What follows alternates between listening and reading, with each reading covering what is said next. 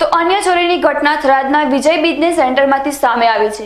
વિજય business સેન્ટરમાં આવેલી પાંચ દુકાનોને તસ્કરોએ નિશાન બનાવી છે, જેમાં કાપડની દુકાન અને સહકારી મળીનો સમાવેશ થાય છે.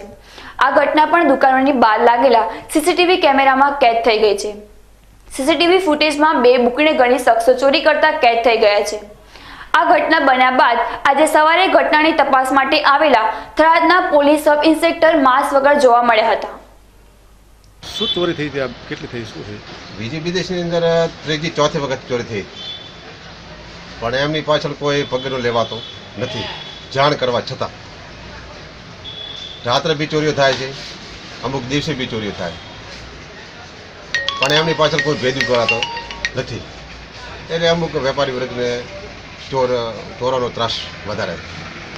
એટલે થોડોક એમને લગતું કંઈક કરે તો સારું હોય કોઈ તપાસ કરે કોઈ કેમેરા ખોલીને કોઈ ગોતે અંદર.